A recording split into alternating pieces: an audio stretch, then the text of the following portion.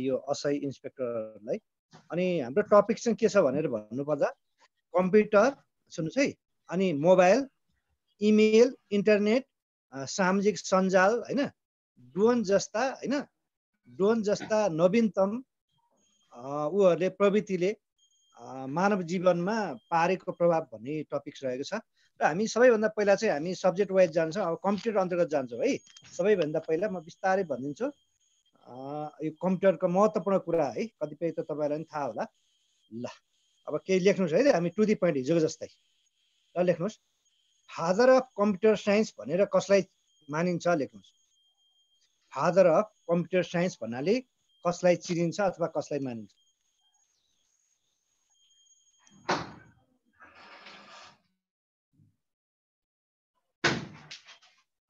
भन्नुहोस् त कसलाई मानिन्छ होला? कतिपय त थाहा हुनुपर्ने कुरा हो यो। Charles Babbage yes Charles Babbage है? चार्ल्स ब्याबेज र यिनी चाहिँ कुन देशका हुन् भन्दा चाहिँ ब्रिटेनका अथवा बेलायतका है? यसै गरी लेख्नुहोस्। म एकदम खास खास कुरो मात्रै लेख्छु है? जाजमा आउने मात्रै एक्जाम ओरिएन्टेड डिजिटल कम्प्युटरका आविष्कारक को हुन् लेख्नुहोस्। डिजिटल कम्प्युटरका आविष्कारक को कसैलाई आउँछ? लेख्नुहोस् यो चाहिँ। प्रोफेसर हार्बर्ट एज एकिन लेख्नुहोस्।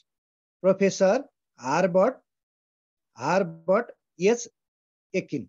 उसले चाहिँ नाइन्टिन फोर्टी सिक्समा यो चाहिँ डिजिटल कम्प्युटरको उसले आविष्कार गरेका प्रोफेसर हार्बर्ट एच एकिन है त? र नाइन्टिन कतिमा सर? नाइन्टिन फोर्टी सिक्समा यो डिजिटल कम्प्युटरको सुरुवात छ है? अर्कै आविष्कार चाहिँ त्यो हार्बर्ट प्रोफेसर हार्बर्टले त्यति टाइममा गरेका थिए। सर फादर अफ कम्प्युटर को हो? यो चार्ल्स ब्याबेज हो। ल अर्को लेख्नुहोस् त। यो माउस त पक्कै थाहा छ होला तपाईँहरूलाई। कम्प्युटरका माउसका आविष्कार कसले गरेका हुन्? लेख्नुहोस्। माउस के माउस? माउसका आविष्कार कसले गरेका हुन्? ल लेख्नु त। डक्लस एन्जल बर्ड लेख्नुहोस्। डक्लस एन्जल बर्ड कम्प्युटरको माउसका आविष्कार कसले गरे भन्दा? डक्लस एन्जल बर्ड अमेरिका है? अमेरिका कहिले गरे भन्दा नाइन्टिन सिक्सटीमा उन्नाइस सय साठीमा।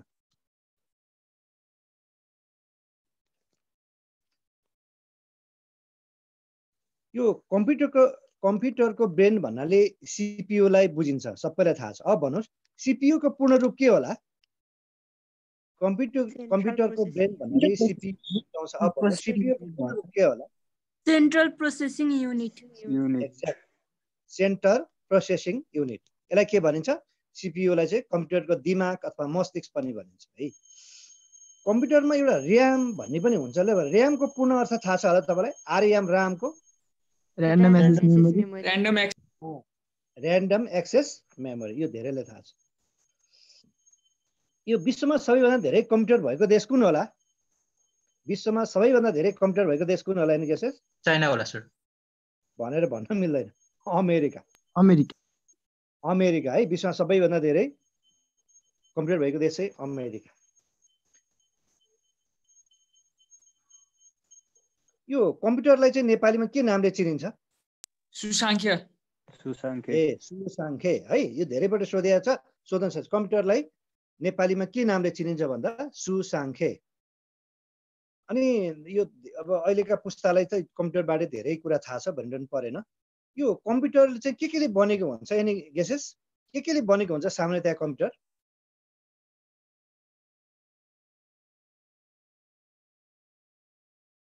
भन्नुहोस् त के केले बनेको होला? सफ्टवेयर र हार्ड डिस्क? सफ्टवेयर हार्डवेयर र अर्को पनि हुन्छ त्यो चाहिँ ब्रेनवेयर। सामान्यतया सफ्टवेयर हार्डवेयर हो होइन? यो पहिलो पुस्ताको कम्प्युटर भनौँ न पहिलो पुस्ता भन्नाले उन्नाइस सय चालिसदेखि उन्नाइस सय छप्पन्नको जुन निर्मित कम्प्युटरलाई चाहिँ के भन्छ भने पहिलो पुस्ता भनिन्छ है? बुझ्नुभयो बुझ्नु भएन पहिलो पुस्ताको कम्प्युटर भन्नाले उन्नाइस सय चालिसदेखि छप्पन्नको जो टाइम पिरियडलाई चाहिँ पहिलो पुस्ताको कम्प्युटर भनिन्छ यो जानकारी रहोस् है? कुन पुस्ताको कम्प्युटरमा मैले भने नि पहिलो पुस्ता भनेको उन्नाइस सय चालिसदेखि उन्नाइस सय छप्पन्न भने कुन पुस्ताको कम्प्युटरमा सिलिकन चिप्सको प्रयोग भएको थियो ल भन त? कुन पुस्ताको कम्प्युटरमा पहिलो पटक सिलिकन चिप्सको प्रयोग भएको थियो? थर्ड। यस एक्ज्याक्टली थर्ड है? थर्ड भनेको उन्नाइस सय चौसठीबाट उन्नाइस सय पचहत्तरसम्म। मलाई जहाँ जहाँसम्म लाग्छ भाइ बहिनीहरूलाई कम्प्युटरको बारेमा चाहिँ धेरैभन्दा धेरै नै जानकारी होला जस्तो लाग्छ। भनेपछि तेस्रो पुस्ताको कम्प्युटरमा के गरेको थियो भन्दा सिलिकन चिप्सको प्रयोग गरेको थियो है? अब म तपाईँलाई बुझाउँछु यो चौथो पुस्ता चौथो पुस्ता भनेको नाइन्टिन सेभेन्टीदेखि नाइन्टिन नाइन्टी उन्नाइस सय नब्बेसम्मको कम्प्युटरलाई चाहिँ चौथो पुस्ता मानिन्छ। त्यो चौथो पुस्ताको कम्प्युटरमा चाहिँ के को चिप्स प्रयोग गरिन थालियो? चौथो पुस्तादेखि। तेस्रोमा चाहिँ अब हामीले सिलिकन चिप्स भन्यौँ अनि चौथो पुस्ता भनेको नाइन्टिन सेभेन्टी फाइभदेखि नाइन्टिन नाइन्टिनको कम्प्युटरमा के को चिप्स चाहिँ प्रयोग गर्न थालियो होला? माइक्रो सर हो माइक्रो चिप्स। तेस्रो पुस्तामा चाहिँ यो सिलिकन चिप्स भयो चौथो पुस्तामा के हो? Micro chips. है अब भन्नु पाँचौँ पुस्ता पाँचौँ पुस्ता भन्नाले अहिले हामी पाँचौँ पुस्तामा छ। कम्प्युटरको अहिलेसम्म कतिौँ पुस्ता चलिरहेको छ भन्दा पाँचौँ पुस्ता पाँचौँ पुस्ता भनेको उन्नाइस सय नब्बेदेखि हालसम्मको पुस्तालाई पाँचौँ पुस्ता भन्छन् होइन? अब भन्नुहोस् यो पाँचौँ पुस्ताको कम्प्युटरमा प्रयोग भएको प्रविधिको नाम के होला? अथवा कुन चिप्स प्रयोग गरिन्छ? एआई अब भन्नुहोस् त अझै भन्नुहोस् त कसैले भन्न सक्नुहुन्छ? Biochip sir yes exactly bio chips भनेको पाँचौँ पुस्ताको कम्प्युटरमा के प्रविधि प्रयोग गरिन्छ भन्दा बायो चिप्स अहिले मैले भने नि अहिले हामीले तेस्रो पुस्तामा चाहिँ के भन्यो? सिलिकन चिप्स भन्यौँ। नाइन्टिन सिक्सटीदेखि उन्नाइस सय पचहत्तरलाई के भनिन्छ भन्दा तेस्रो पुस्ता। त्यसपछि उन्नाइस सय पचहत्तरदेखि उन्नाइस सय नब्बेलाई के भनिन्छ भन्दा यो चौथो पुस्ता यसमा चाहिँ माइक्रो चिप्स र अहिलेका जुन चाहिँ अत्याधुनिक जुन खालको कम्प्युटर छ नि पाँचौँ पुस्तामा चाहिँ के खालको चिप्स अथवा कुन प्रविधिको चिप्स प्रयोग गरिन्छ भन्दा बायो चिप्स है। हजुर। ल अब अर्को कुरा सुन्नुहोस् है। त कम्प्युटरमा प्रयोग हुने आरओएम रोमको पुरा अर्थ के होला? Read only memory. Yes exactly read only memory है? यो सबैलाई थाहा छ। यो विद्युतीय माध्यमबाट सुन्नुहोस् है विद्युतीय माध्यमबाट सूचना प्रसारण गर्न प्रयोग हुने सिग्नलहरू के के हुनु होला? फेरि क्वेसन सोध्दैछु। विद्युतीय माध्यमबाट सूचना प्रसारण गर्न प्रयोग हुने सिग्नलहरू कुन कुन हुन्?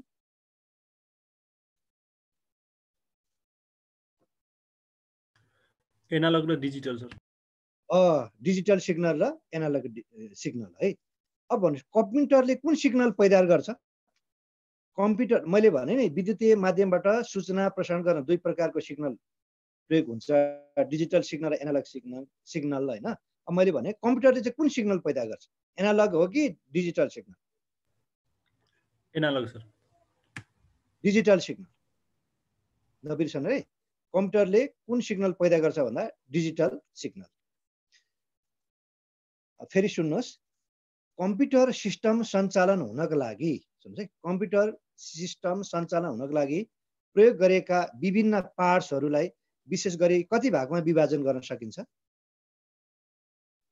दुई। भनेर भन्न मिल्दैन। कम्प्युटर सिस्टम सञ्चालन हुनको लागि प्रयोग गरेका विभिन्न पार्ट्स विशेष गरी कति भागमा विभाजन गर्न सकिन्छ भन्दा यसको उत्तर हो के के हुन् भन्दा? इनपुट तिन होला। युनिट प्रोसेसिङ प्रोसेसिङ तिन युनिट तिन। तिनटा तिनटा। ल सुन्नुहोस् है यसो कम्प्युटरबारे धेरैलाई आउँछ खै बहिनीहरू त त्यति चुपचाप लगाएर बसिरहनु भएको छ त। यो कम्प्युटरका सूचनाहरू कुन एकाइमा नापिन्छ अथवा सञ्चय गरिन्छ? कम्प्युटरका सूचनाहरू कुन एकाइमा नापिन्छ अथवा सञ्चय गरिन्छ? बाइट्स हो सर बाइट्स बिट र बाइटमा। है कम्प्युटरका सूचनाहरू कुन इकाइमा नापिन्छ भन्दा बिट र केमा? बाइटमा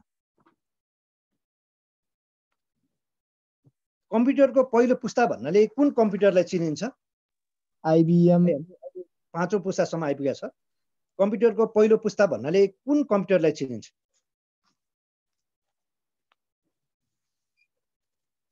सुन्नु भएको छ कसरी? लिओ एलइओ लिओ। है कम्प्युटरको पहिलो पुस्ता भने केलाई चिन्छ लिओ।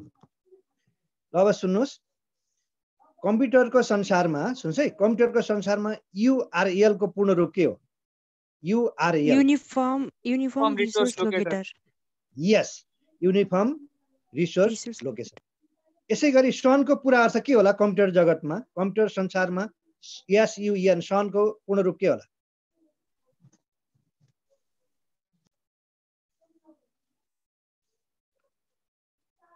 Stanford university network. है? अब सुन्नुहोस् है फेरि अर्को। कम्प्युटरलाई सुन्नुहोस् है कम्प्युटरलाई इन्टरनेटसँग सम्पर्क गराउन सुन्नुहोस् है कम्प्युटरलाई इन्टरनेटसँग सम्पर्क गराउन चाहिने उपकरणलाई मोडेम भनिन्छ। सुन्नुभयो एमओडिइएम मोडेम भनिन्छ। कम्प्युटरलाई इन्टरनेटसँग सम्पर्क गराउन चाहिने उपकरणलाई के भन्छ? मोडेम भनिन्छ। अब भन्नुहोस् यसको पुरा रूप के होला? मोडेमको। Modulator demod modulator demodulate modulation demodulation modulate modulate demodulate modulate demodulate है। यो कम्प्युटरमा अन्य कम्प्युटरमा अन्य प्रोग्राम बिगार्ने एउटा प्रोग्राम पाइन्छ त्यसलाई के भनिन्छ होला? भाइरस भन्छ सर। यस एकदम भाइरस। सबैलाई थाहा छ यसलाई के भन्छ? भाइरस। अनि तपाईँलाई थाहा छ कम्प्युटरको फ्यानलाई के भनिन्छ? कम्प्युटरको फ्यानलाई के भनिन्छ होला? कुलर भन्छ होला sir. Smart quill. Smart quill. ल अर्को कुरा सुन्नुहोस् है त। यो नेपालमा सर्वप्रथम कम्प्युटर कहिले भित्रिएको हो? अब नेपालको कुरा है। अठाइस सालमा। उन्नाइस सय अडसठी Yes, सर 2028 दुई सालमा। हजार अठाइस यस अठाइस सालमा केन्द्रीय तथ्याङ्क विभागले यो जनगणनाको तथ्याङ्क प्रशोधन र तपाईँको विश्लेषण गर्नको लागि चाहिँ भित्राएको थियो है। ल भन्नुहोस्। नेपालमा सर्वप्रथम भित्रिएको कम्प्युटर चाहिँ दोस्रो पुस्ताको कम्प्युटर हो। उक्त कम्प्युटरको नाम के थियो होला? IBM fourteen hundred one yes exactly IBM fourteen hundred one है। अनि राष्ट्रिय कम्प्युटर केन्द्रको स्थापना कहिले भएको? हो नेपाल राष्ट्रिय कम्प्युटर केन्द्रको स्थापना कहिले भएको?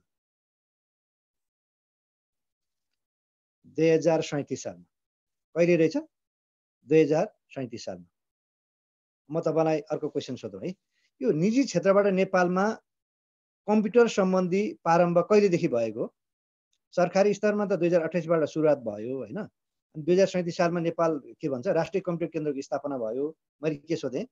प्राइभेट सेक्टरबाट अथवा निजी क्षेत्रबाट नेपालमा कम्प्युटर सम्बन्धी कार्यको प्रारम्भ कहिलेबाट भएको?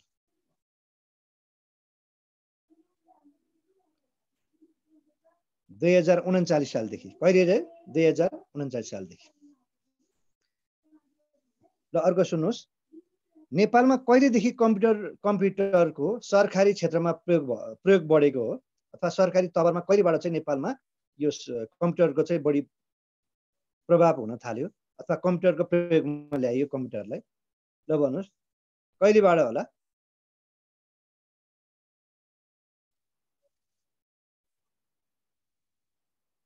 यसको उत्तर हो दुई हजार सडचालिस सालदेखि।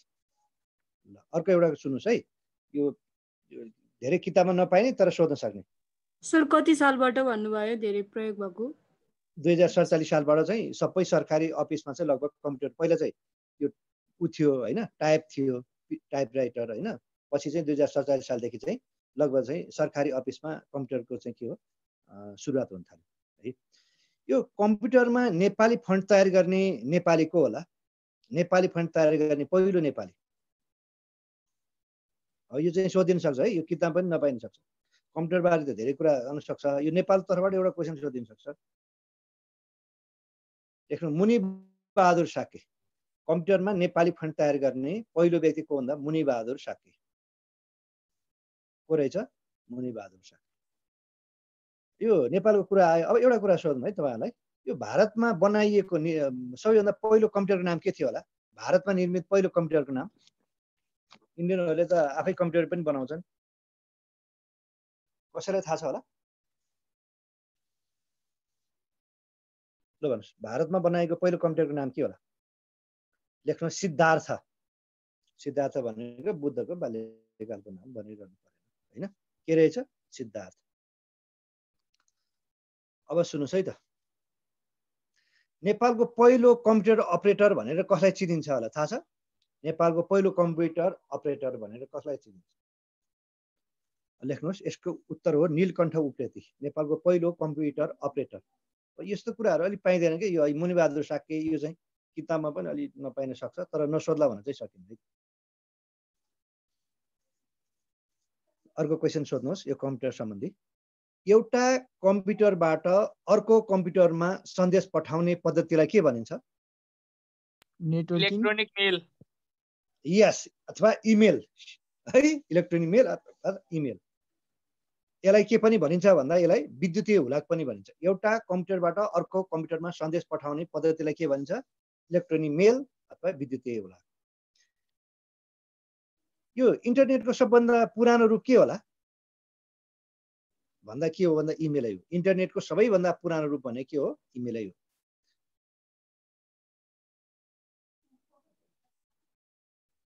विश्वको पहिलो पूर्ण माइक्रो कम्प्युटर कुन होला? थाहा छ तपाईँलाई? विश्वको पहिलो पूर्ण माइक्रो कम्प्युटर कुन होला? विश्वको पहिलो माइक्रो कम्प्युटर।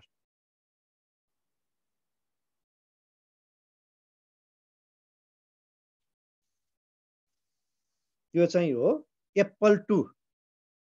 पूर्ण माइक्रो कम्प्युटर विश्वको चाहिँ को हो? एप्पल टू है?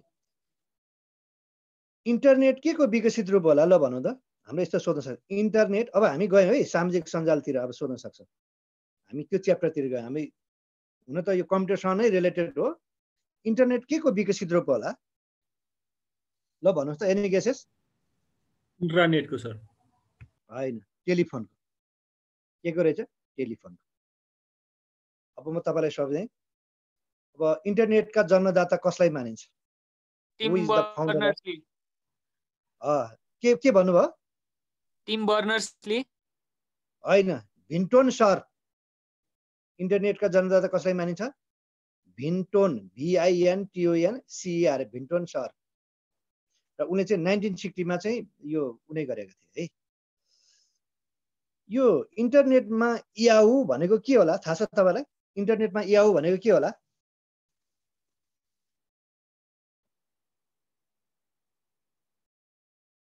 तपाईँले याहु भन्ने सुन्नु भएको छ आफूले मोडल नम्बर मोबाइलका बालनका फिल्ममा खोजी यन्त्र इन्टरनेटमा याहुको भनेको के रहेछ? खोजी यन्त्र। ल भन्नुहोस् त इन्टरनेट वास्तवमा के को लागि चाहिँ प्रयोग भएको थियो होला संसारमा पहिलो पटक? आर्मीद्वारा। होइन सैनिक प्रयोगको लागि। सैनिक प्रयोगको लागि चाहिँ यो के गरेको थियो? प्रयोग गरेको थियो।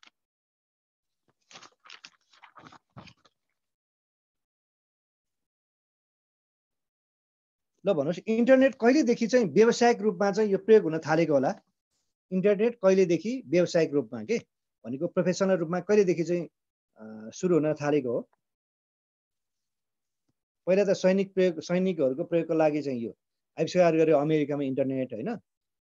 है तर यो व्यावसायिक रूपमा चाहिँ विश्वमा इन्टरनेट कहिलेबाट चाहिँ व्यावसायिक रूपमा हुन थालेको होला प्रोफेसनल रूपमा? उन्नाइस सय नब्बे? नाइन्टिन नाइन्टी टूबाट। नब्बे त नब्बे नै हो दुई वर्ष पछाडि नाइन्टिन नाइन्टी टूबाट। नेपालमा पहिलो पटक इन्टरनेट सुन्नुहोस् है उन्नाइस सय चौरानब्बेमा भित्रिएको। नेपालमा फर्स्ट टाइम इन्टरनेट चाहिँ नाइन्टिन नाइन्टी फोरमा भित्रिएको थियो। त्यो भित्रियाउने त्यो संस्थाको नाम के होला ल भनौँ त? हो यस्तो हामीलाई सोध्न सक्छ जात। नेपालमा इन्टरनेट चाहिँ नाइन्टिन नाइन्टी फोरमा भित्रिएको हो। त्यो भित्र्याउने संस्थाको नाम चाहिँ के होला?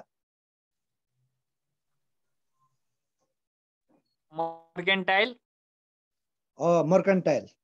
नेपालमा इन्टरनेट भित्र्याउने पहिलो निकाय संस्थाको हो मर्कन्टाइल। ल भन्नुहोस् विश्वको पहिलो वेबसाइट कुन हो? सर भित्र्याउने संस्था कुन भयो सर? इन्टरनेट भित्र्याउने संस्था? मर्कन्टाइल। नेपालमा नाइन्टिन नाइन्टी फोरमा चाहिँ मर्कन्टाइलले चाहिँ फर्स्ट टाइम चाहिँ नेपालमा इन्टरनेट भित्र्याएको है। विश्वको पहिलो वेबसाइट कुन चाहिँ होला? लेख्नुहोस्। कन सिएआरएन सन अथवा कन? है? विश्वको पहिलो वेबसाइट के रहेछ सिएआरएन सन अथवा कन भनौँ न। वेबसाइटको प्रत्येक पेजहरूलाई के भनेर चिनिन्छ? यस एक्ज्याक्टली वेब पेज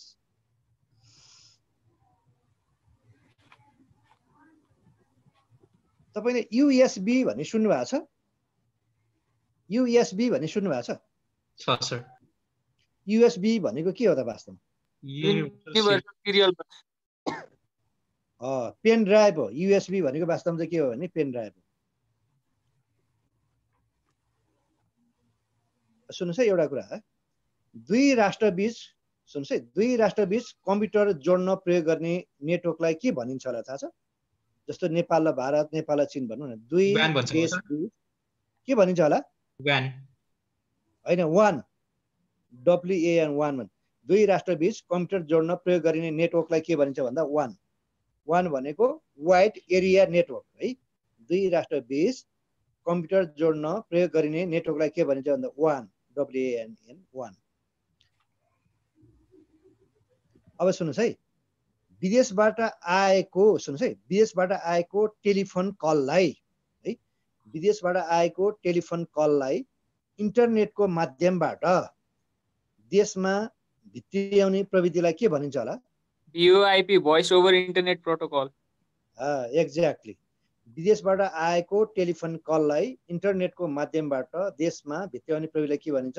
भिओआइपी भनेको भोइस ओभर इन्टरनेट प्रोटोकल है? यो इन्टरनेटको माध्यमबाट सुन्छ है इन्टरनेटको माध्यमबाट अनुमति बिना कम्प्युटर फाइलहरूसम्म पहुँच राख्ने व्यक्तिलाई के भनिन्छ? ह्याकर भन्छ सर। यस एक्ज्याक्ट के भन्छ? ह्याकर भन्छ। अनि यो उत्तर पुस्तिका के? तपाईँहरूको जुन जाँच दिएपछि हुन्छ नि उत्तर पुस्तिका परीक्षण सम्बन्धमा प्रयोग हुने कम्प्युटराइज विधिलाई के भनिन्छ थाहा छ? उत्तर पुस्तिका परीक्षण सम्बन्धमा प्रयोग हुने कम्प्युटराइज कम्प्युटराइज विधिलाई के भनिन्छ थाहा छ? ओएमआर यस ओएमआर भनेको अप्टिकल मार्क रिडर्स ल अर्को सुन्नुहोस् है हामी कम्प्युटरसँगै कम्प्युटर त छोड्ने कुरै भएन होइन? कम्प्युटरको कम्प्युटर मोबाइल तथा विद्युतीय उपकरणबाट सुन्नुहोस् है कम्प्युटर मोबाइल तथा विद्युतीय उपकरणबाट निश्चित परिधिभित्र है बिना तार इन्टरनेट सेवा सञ्चालन गर्न सक्ने प्रविधिलाई के भनिन्छ? Mobile hotspot. के भनिन्छ होला? Hotspot mobile hotspot. वाइफाई भनिन्छ। यसलाई के भनिन्छ? वाइफाई भनिन्छ। है ल भन्नुहोस् त। नेपालको पहिलो निशुल्क वाइफाई सेवा भएको जिल्ला कुन होला? तपाईँको म्याग्दी यस एक्ज्याक्टली। के हो? नेपालमा पहिलो निशुल्क वाइफाई भएको जिल्ला कुन हो? म्याग्दी त्यो कसले गरेको भनेर भन्दा त महावीर पुण्य भनिरहनु परेन। ल सुन्नुहोस्। इन्टरनेटमा प्रयोग गरिने डब्लु डब्लु डब्लु के थ्री डब्लु जसलाई हामी के भनेर चिन्छ? वर्ल्ड वाइड वेबको नामले चिन्छ। अब भन्नुहोस् यो डब्लु डब्लु डब्लु अथवा थ्री डब्लुको प्रयोग चाहिँ कहिलेबाट चाहिँ भएको होला? उन्नाइस सय नब्बे। उनानब्बे उन्नाइस सय नब्बे। उन्नाइस सय तिस। कति अप्रिल तिस। उन्नाइस सय नब्बे अप्रिल तिस है सरी ल अर्को सुन्नुहोस्। नेपालमा सरकारी कामकाजको लागि सुन्छ है नेपालमा सरकारी कामकाजको लागि डिजिटल हस्ताक्षरणको सुरुवात कहिलेबाट हुन थालेको हो? अब एकचोटि डिजिटल हस्ताक्षर गरेपछि त ऊ हुने भएन सधैँ त्यही रहने भयो होइन? नेपालमा सरकारी कामकाजको लागि डिजिटल हस्ताक्षरको सुरुवात कहिलेबाट सुरु भएको होला? दुई हजार बहत्तर मङ्सिर कति? सोह्र गतेबाट दुई हजार बहत्तर मङ्सिर कति सोह्र गतेबाट ल है अब हामीले सोध्न सक्ने क्वेसनतिर हामी जाँदैछौँ सुन्छ है। नेपाल सरकारले सुन्छ है कहिलेसम्ममा डिजिटल नेपाल बनाउने लक्ष्य राखेको छ? ल भन्छु। है, हातले लेख्ने होइन जम्मै कम्प्युटराइज के? नेपाल सरकारले कहिलेसम्ममा डिजिटल नेपाल बनाउने लक्ष्य राखेको छ? दुई हजार तिस। दुई हजार पच्चिससम्ममा तिस होइन कि पच्चिससम्म ल अर्को सुन्नुहोस्। यो नेपाल टेलिकमद्वारा फोर जी सेवा कहिलेदेखि सञ्चालनमा ल्याएको हो? नेपाल टेलिकमद्वारा फोर जी सेवा कहिलेदेखि सञ्चालनमा ल्याएको?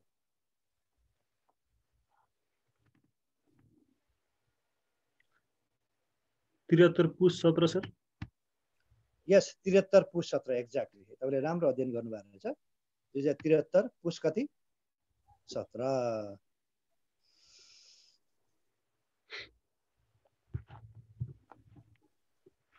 यो फोर जी सेवा थ्री जी सेवा भन्दा चाहिँ कति गुणा चाहिँ यो छिटो चल्छ होला? तपाईँलाई थाहा छ? फोर जी सेवा थ्री जी सेवा भन्दा कति गुणा बढी मतलब बढ्ता भन्दा बढी गुणा छिटो हुन्छ होला?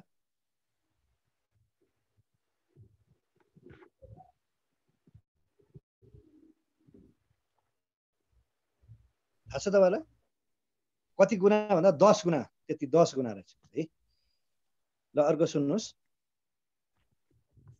यो विश्वमा पहिलो पटक इमेल मार्फत है? विश्वमा पहिलो पटक इमेल मार्फत सूचनाको आदान प्रदान गर्ने देश कुन होला? विश्वमा पहिलो पटक इमेल मार्फत सूचनाको आदान प्रदान गर्ने देश कुन? होला? यस संयुक्त राज्य अमेरिका कहिले? Nineteen seventeen one nineteen seventeen one ल म तपाईँलाई एउटा सजिलो क्वेसन सोध्छु। यो धेरैलाई आउनु पर्ने हो। वायरलेस प्रविधिबाट सूचना सम्प्रेषण गर्ने विधिलाई के भनिन्छ?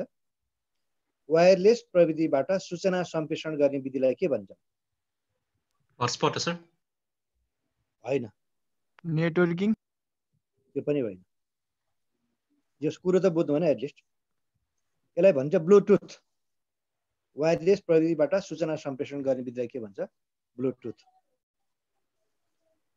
ल सुन्नुहोस् है हामीलाई सोध्न सक्ने क्वेसन मध्येमा यो हामी एकदमै यही यो विज्ञान प्रविधिकै भित्र छौँ होइन अत्याधुनिक विज्ञान प्रविधिकैमै छौँ होइन।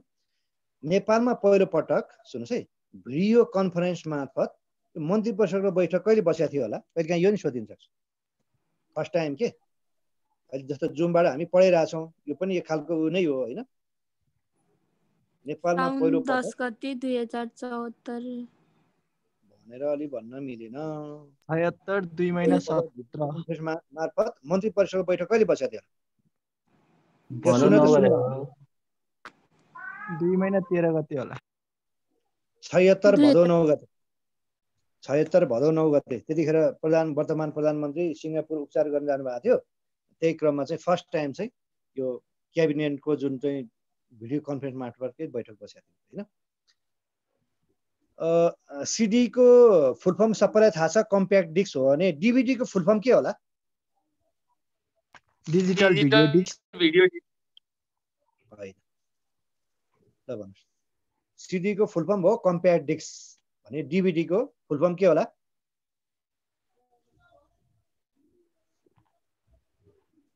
डिजिटल भर्सटाइल डिस्क यो तपाईँले कहिलेकाहीँ यो टेलिफोन गर्दाखेरि पिसिओ भन्ने सुन्नु भएको छ? पिसिओ लेखेको देख्नु भएको छ? कहीँ कतै पिसिओ भनेर लेख्नु देख्नु भएको छ पुरा अर्थ के होला?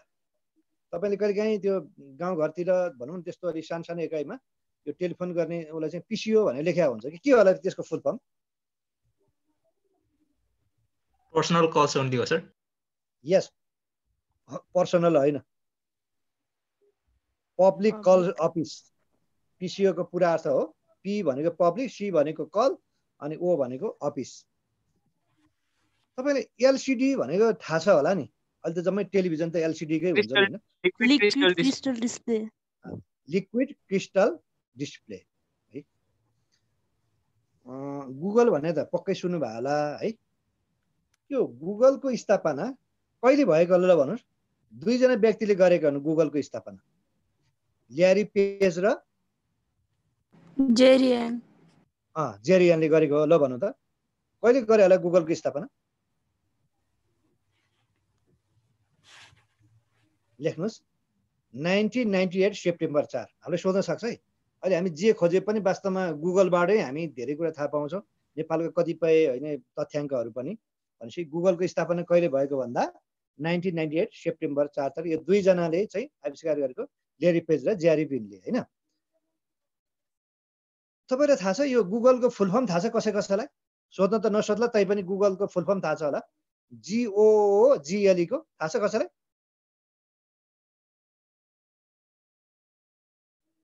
अब त्यही गुगलले पनि दिइहाल्छ? What is a full form of Google भनिदिएला होइन?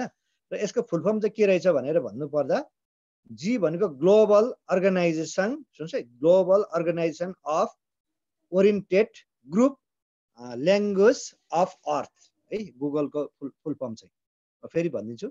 जिओओ जिएलई गुगल सबैलाई थाहा छ। जी एउटा जीको ग्लोबल अनि दुईवटा छ नि दुईवटा जुन ओको एउटा अर्गनाइजेसन अफ ओरिएन्टेड अनि ग्रुप ल्याङ्ग्वेज अफ अर्थ र भने गुगलको हेडक्वार्टर अथवा मुख्यालय चाहिँ कुन देशको कुन सहरमा छ होला? गुगलको मुख्यालय के?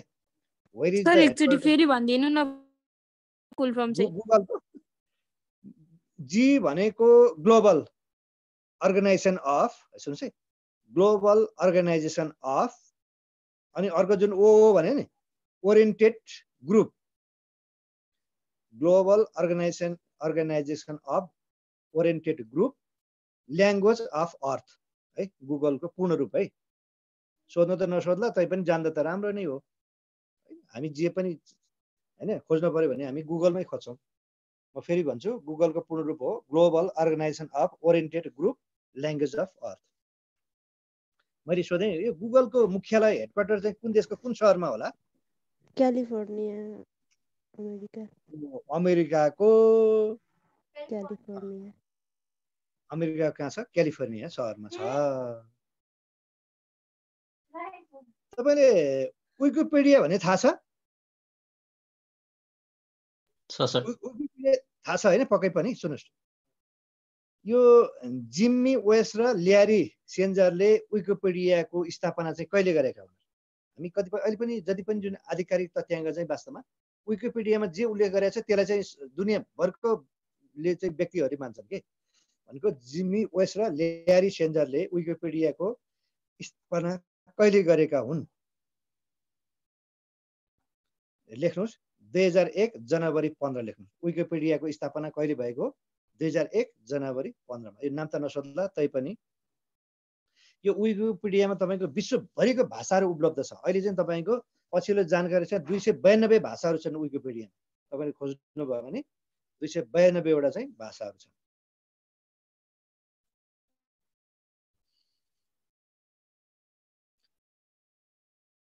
ल अब सुन्नुहोस् युट्युब चाहिँ यो विश्वमा कहिलेदेखि प्रचलनमा आएको ल भनौँ त। युट्युब यो हामी सङ्गमी सामाजिक सञ्जालको च्याप्टरमा छ। युट्युब चाहिँ कहिलेदेखि चाहिँ विश्वमा प्रयोगमा आएको होला? दुई हजार एक हो सर। दुई हजार पाँच। फेब्रुअरी यस फोर्टिन यस दुई हजार पाँच फेब्रुअरी चौधबाट। युट्युब कहिलेबाट विश्वमा चाहिँ प्रचलन आयो भन्दा दुई हजार पाँच फेब्रुअरी कति? चौधबाट। र यसको जानकारी होस् यो जेवेट करिम र स्टेफन चेन अनि चार्ट हुर्लेले चाहिँ स्थापना तिनजनाले चाहिँ यो स्थापना गरेका रहेछन्। अब हामी यति धेरै नाम त नसोध्ला। युट्युब चाहिँ कहिलेबाट चाहिँ प्रचलनमा आयो अथवा सुरुवात भएको युट्युबमा भन्दा युट्युब भन्दा दुई हजार पाँच फेब्रुअरी चौध।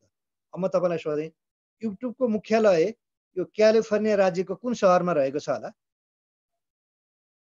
युट्युबको मुख्यालय कुन के भन्नुभयो? यस सान ब्रुनो। क्यालिफोर्निया राज्यको सान ब्रुनो भन्ने सहरमा चाहिँ युट्युबको के छ भन्दा चाहिँ मुख्यालय रहेछ। अब म तपाईँलाई सोधेँ यो वाइफाई भने सोधेँ नि वाइफाईको फुल फर्म चाहिँ के होला?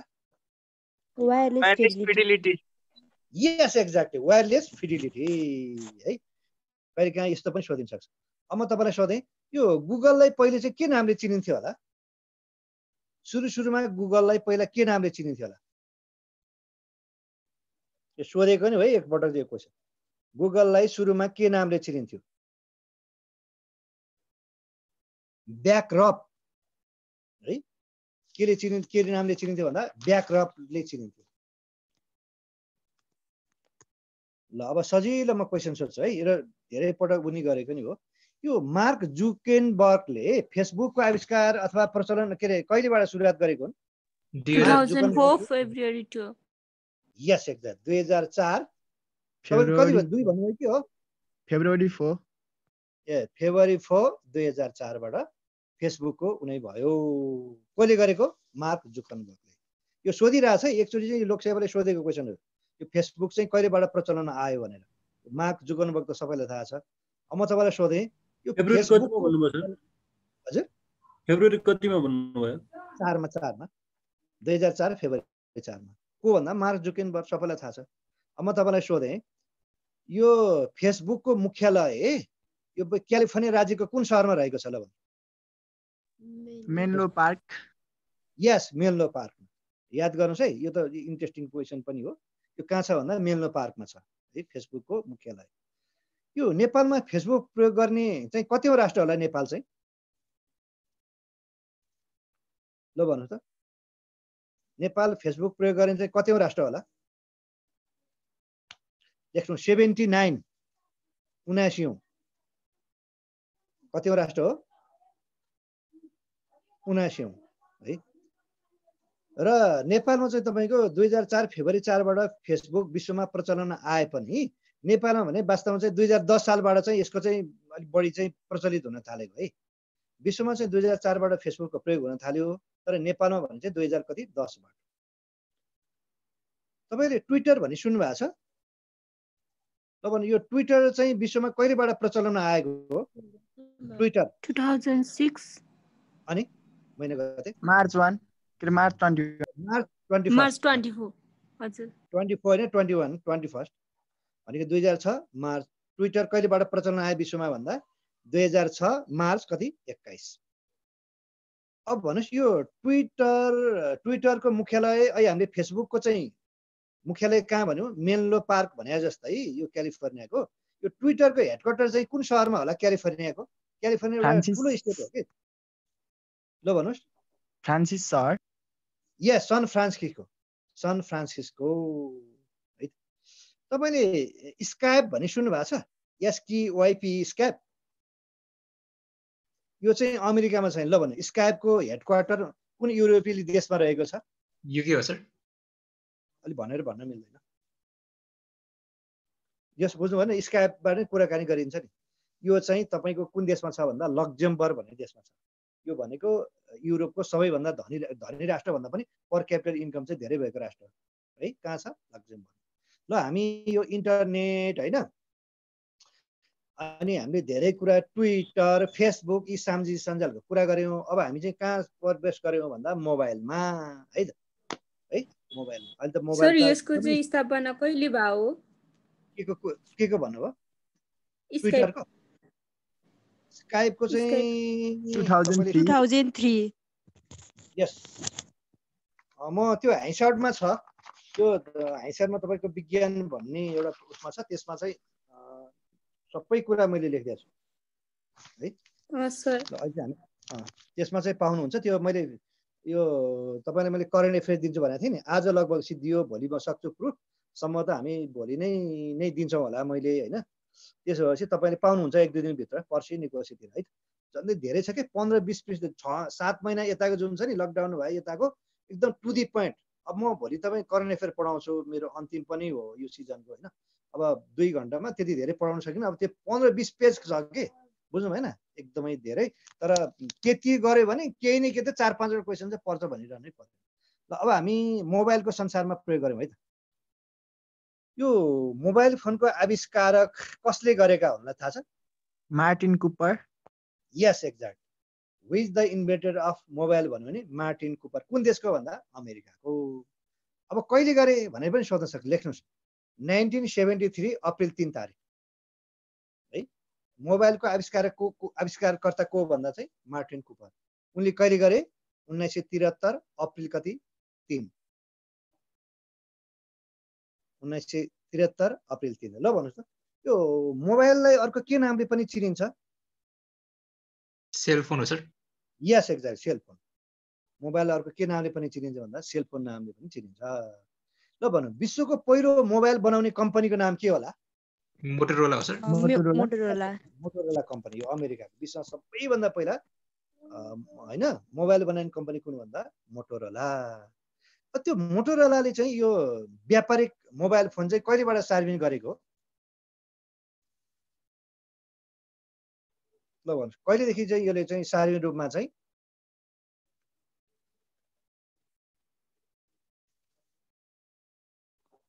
लेख्नुहोस्। नाइन्टिन एटी थ्रीबाट चाहिँ। Nineteen eighty three. तपाईँले एउटा कुरा सोधौँ है यो नोकिया फोन भन्ने तपाईँलाई थाहा छ? ल त्यो नोकिया फोनको उत्पादन चाहिँ कुन देशमा हुने गर्थ्यो? होइन। फिलिपिन्स। भनेर भन्न मिल्दैन त्यो। फिनल्यान्ड चाहिँ होला। अ फिनल्यान्ड। त्यो चाहिँ एउटा नदीको नाउँबाट राखे। नोकिया भने चाहिँ नदी नदीको नाउँबाट राखे। कुनै बेला भयङ्कर कुनै थियो है। अहिले त एप्पल र सामसुङ मात्रै हो संसारमा। कुनै बेला नोकियाको झन्डै झन्डै एकाधिकारै जस्तो थियो है। म तपाईँलाई सोधौँ। यो विश्वमा पहिलोपटक होइन? यो मोबाइल फोनको नाम चाहिँ के राखेको थियो र सुरुमा मोबाइल फोनको नाम के राखेको थियो? अहिले हामीले मोबाइल सेल फोन भनेर पनि चिन्छौँ होइन? ल भन्नुहोस् त। सुरुमा चाहिँ सुरुमा मोबाइल फोनको नाम के राखेको थियो? थाहा छ?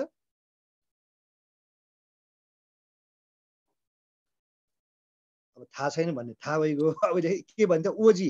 ओजी भनेको जेरो जेनेरेसन। मोबाइललाई सुरुमा के नाम राखेको थियो भन्दा ओजी भनेको जेरो जेनेरेसन। ल अब भन्नुहोस् यो मोबाइललाई नेपालीमा चाहिँ अहिले के नामले चिनिन्छ? सोध्न सक्छ हजुर? फुसफुस यन्त्र। फुसफुस यन्त्र। अझ ठ्याक्कै भएन अझ गर्नु मोबाइललाई नेपालीमा नाम के राख शब्दकोशमै राखिसक्यो। मोबाइललाई नेपालीमा के भनेर चिनिन्छ? तपाईँले भनेको चाहिँ हन्ड्रेड पर्सेन्ट चाहिँ भएन के? कसैले भन्न सक्नुहुन्छ? कर्ण फुसफुस। मोबाइलको नेपाली नाम हो कर्ण फुसफुस। कर्ण भनेको संस्कृतमा कहाँ फुसफुस भनेको खुसामत गर्नु के? के रहेछ अरे नेपाली नाम भन्नु त सबैजनाले? यो सोध्न सक्छ है फेरि। कर्ण फुसफुस कर्ण फुसफुस। कर्ण भनेको संस्कृतमा कान फुसफुस भनेको खुसामत गर्ने होइन? ल भन्नुहोस् त। विश्वमा पहिलोपटक सुन्नुहोस् है मोबाइल फोनमा भोइस मेलको सुविधा कहिले थपिएको थियो? विश्वमा पहिलोपटक मोबाइल फोनमा भोइस मेलको सुविधा कहिले थपिएको थियो? नाइन्टिन सेभेन्टी थ्रीमा त मोबाइल प्रचलन आयो होइन? मार्टिन कुबरले उनी गरे। एट्टी थ्रीबाट त व्यावसायिक रूपमै आयो ल भन्नुहोस् विश्वमा पहिलोपटक मोबाइल फोनमा भोइस मेलको सुविधा कहिले थपेको थियो नाइन्टी फाइभ नाइन्टिन एटी सिक्समा। फाइभ चाहिँ होइन त्यसको एक वर्ष पछाडि अब सुन्नुहोस् है विश्वमा पहिलो पटक सुन्नुहोस् है विश्वमा पहिलो पटक ह्यान्डसेट मोबाइल फोन मोटोरोला कम्पनीले कहिले चाहिँ बजारमा ल्याएको? ह्यान्डसेट के हातमै लिन्छ। पहिला पहिला त जहाँ राखिन्थ्यो मात्रै हुन्थ्यो। त्यो ह्यान्डसेट मोबाइलको जुन छ नि त्यो चाहिँ मोटोरोला कम्पनी कहिलेबाट बजारमा ल्याएको होला? त्यो चाहिँ लेख्नुहोस्। नाइन्टिन नाइन्टी टूमा। कहिले त्यो भन्दा? Nineteen ninety two. यो मोबाइलको कुरा गर्दा तपाईँहरूको टेलिफोन पनि कुरा आउँछ। तपाईँलाई थाहा छ टेलिफोनको आविष्कारक को हुन्? ग्राम बेल हो सर अलेक्जेन्डर ग्राम्बेल अठार सय छयत्तरमा उनले आविष्कार गरेको है। यो विश्वमा पहिलो पटक क्यामेरा युक्त मोबाइल फोन। सुन्छ है? क्यामेरा युक्त मोबाइल फोन। उन्नाइस सय सन्तानब्बेमा फ्रान्सका कुन व्यक्तिले बनाएका थिए होला? विश्वमा पहिलो पटक क्यामेरा युक्त मोबाइल फोन नाइन्टिन नाइन्टी सेभेनमा फ्रान्सका कुन व्यक्तिले बनाएका थिए होला?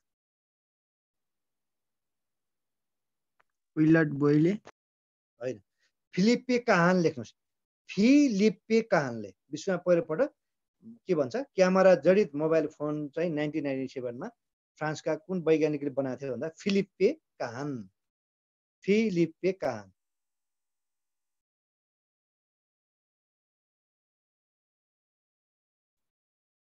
अब अर्को क्वेसन है यो मोबाइलको बारेमा। विश्वमा पहिलो न्युज मोबाइल सन् दुई हजारमा कुन देशमा बनेको थियो होला? विश्वको पहिलो न्युज मोबाइल सन् दुई हजारमा कुन देशमा बनेको थियो होला? South Korea? भनेर भन्न मिल्दैन। यसको उत्तर चाहिँ हो तपाईँको फिनल्यान्ड। अब तपाईँले एसएमएस भने त पक्कै सुन्नुभयो होला है? ल भने एसएमएसको फुल फर्म के होला? Short message system search short message system ल भन्नु यो एसएमएस गर्ने चाहिँ सुरुवात चाहिँ मोबाइलमा कहिलेबाट सुरुवात भयो होला विश्वमा? एसएमएसको फुल फर्म के अरे? सर्ट मेसेज सिस्टम हो। यो चाहिँ विश्वमा कहिलेबाट सुरुवात भयो? एक मोबाइलबाट अर्कोमा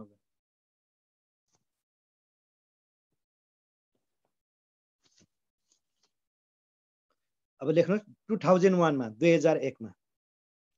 ल यता सुन्नुहोस् है म अलि अलि लामो क्वेसन चाहिँ ध्यान दिएर सुन्नुहोस् तर इन्ट्रेस्टिङ है अहिलेको पुस्ताले।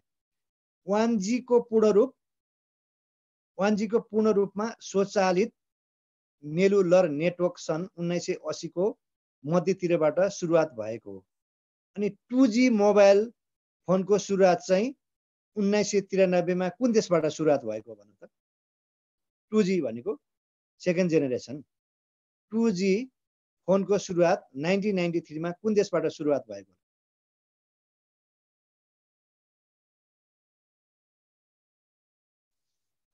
त्यो देश हो फिनल्यान्डबाट।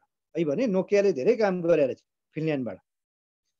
अनि यसै गरी तपाईँको थ्री जी मोबाइल फोनको सुरुवात कहिलेबाट भएको विश्वमा? ल भन्छ थ्री जी मोबाइलको सुरुवात विश्वमा कहिलेबाट भएको होला? थ्री जी भनेको फोर्थ थर्ड जेनेरेसन के? यसको उत्तर हो सन् दुई हजार एकबाट। है? अब म यसै गरी तपाईँलाई सोधौँ। सर वान जीको कहिले भन्नुभयो? हजुर। वान जीको चाहिँ नाइन्टी असी उन्नाइस सय असीबाट अब म तपाईँलाई गर्छु फोर जी फोर्थ जेनेरेसन के? फोर जी मोबाइलको प्रारम्भ सन् दुई हजार बाह्रबाट भएको। यो फोर जी मोबाइल सुरुवात गर्ने देश चाहिँ कुन होला? फोर जी मोबाइलको सुरुवात कुन भयो? हजुर? जापान। होइन बेलायत। बेलायत। अहिले त फाइभ जी पनि आइसक्यो। ल फाइभ जी। मोबाइलको सुरुवात गर्ने देश South Korea. Yes exactly South Korea है यो चाहिँ सोध्छ है यो फोर जी यो थ्री जी यो चाहिँ सोधिदिनु सक्छ यस गर्नुहोस्। यो नेपालमा पहिलो पटक प्रयोग गरेको मोबाइलको फोन कुन कम्पनीको थियो होला? वान जीको पहिलो पुस्ता। नेपालमा पहिलो पटक प्रयोग गरेको मोबाइलको फोन कुन कम्पनीको थियो होला? यो पहिलो पुस्ता नोटेल कम्पनी। नेपालमा फर्स्ट टाइम प्रयोग गरेको मोबाइल फोन चाहिँ कुन कम्पनी थियो भन्दा नोटेल कम्पनीको थियो। अब एउटा कुरा सोधौँ है तपाईँ तपाईँहरूलाई। नेपालमा जिएसएम मोबाइल फोनको परीक्षण कहिलेबाट भएको हो? जिएसएमको थाहा होला तपाईँलाई। जिएसएम भनेको ग्लोबल सर्भिस फर मोबाइल हो कि? नेपालमा जिएसएम मोबाइल फोनको परीक्षण कहिलेबाट भएको हो अथवा कहिले भएको यसको जिएसएमको फुल फर्म थाहा छ? ग्लोबल सर्भिस फर मोबाइल हो ग्लोबल सर्भिस फर मोबाइल दुई हजार छप्पन्न वैशाख एक गतेबाट।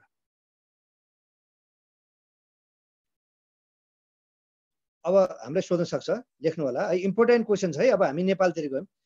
जिएसएम मोबाइल फोन वितरण नेपालमा पहिलोपटक कहिलेबाट भएको ल भन्नु त जिएसएम मोबाइल फोन वितरण नेपालमा कहिलेबाट गरिन थालेको हो?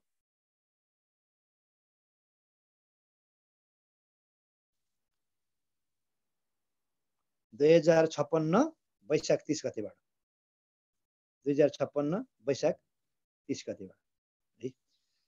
अब भन्नुहोस्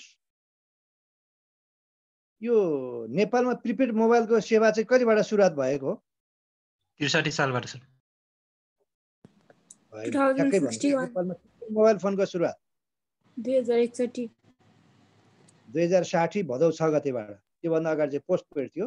दुई हजार साठी भदौ कति गते एक गतेबाट। यो नेपालमा मोबाइल फोनमा सुन्नुहोस् है नेपालमा मोबाइल फोनमा इन्कमिङ कल कहिलेबाट चाहिँ निशुल्क गरेको? पहिला त तपाईँको रोमिङ चार्ज पनि तिर्नु पर्थ्यो कि? उताबाट उठाएको पनि तिर्नु पर्ने त्यस्तो अवस्था थियो। नेपालमा मोबाइल नेपालमा मोबाइलमा फोनमा मोबाइल फोनमा इन्कमिङ कल कहिलेबाट चाहिँ निशुल्क भएको? पहिला त दुवैपट्टिबाट गर्दा पनि आएको पनि पैसा तिर्नु पर्थ्यो अब कहिलेबाट त्यो चाहिँ निशुल्क हुन थालेको हो? इन्कमिङ कल बैसठी जेठ तेइस लेख्नुहोस्। कहिले रहेछ? बैसठी जेठ कति? तेइसबाट।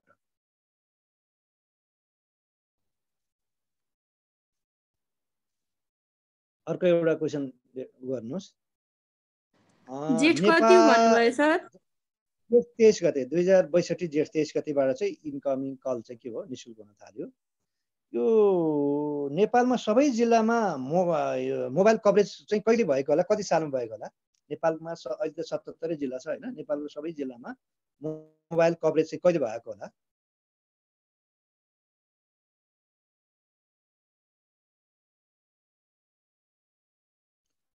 यो चाहिँ हो दुई हजार पैँसठी है कहिले? दुई हजार पैँसठी साल। यो नेपालको सबै जिल्लामा फोर जी नेटवर्क कहिले विस्तार भएको भन्नु त? नेपालको सबै जिल्लामा फोर जी नेटवर्क कहिले विस्तार भएको? फोर जी भनेको फोर्थ जेनेरेसन अहिले हामीले भनिहाल्यौँ बेलायतबाट सुरुवात भएको। नेपालको सबै जिल्लामा फोर जी नेटवर्क कहिले विस्तार भएको? दुई हजार छयत्तर माघ एक्काइस गते लेख्नुहोस्। यो हुम्लाको सिम कोडमा चाहिँ फोर जी सेवा जडान गरेपछि चाहिँ नेपालको सबै सेवामा के अरे सबै जिल्लामा चाहिँ फोर जी सेवा चाहिँ विस्तार भएको छ। कहिले रहेछ भन्दा दुई हजार छयत्तर माघ कति गते? एक्काइस गते।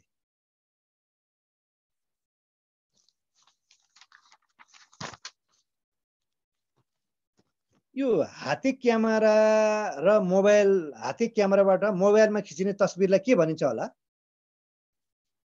सेल्फी। यस एक्ज्याक्टली सेल्फी। यो यो शब्द चाहिँ तपाईँको दुई हजार यो चौधको त यो उनी एकदम फेमस वर्डै हो सेल्फी। यो नेपालमा अप्टिकल फाइबर है नेपालमा अप्टिकल फाइबर बिछ्याउने कार्यको शुभारम्भ कहिलेबाट भएको हो? नेपालमा अप्टिकल फाइबर बिछ्याउने कार्यको शुभारम्भ। अब जम्मै टेलिफोनको तारहरू जम्मै जमिन मुनिबाट भनौँ न अप्टिकल फाइबर बिछ्याउने कार्यको शुभारम्भ कहिलेबाट भएको होला?